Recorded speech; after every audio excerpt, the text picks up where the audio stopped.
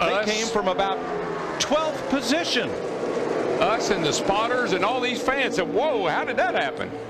But if you notice, they not only did they get to the high side, they put a big gap between that single file line. And then when they cleared Tony Stewart down in turn one and two, Denny dropped to the inside.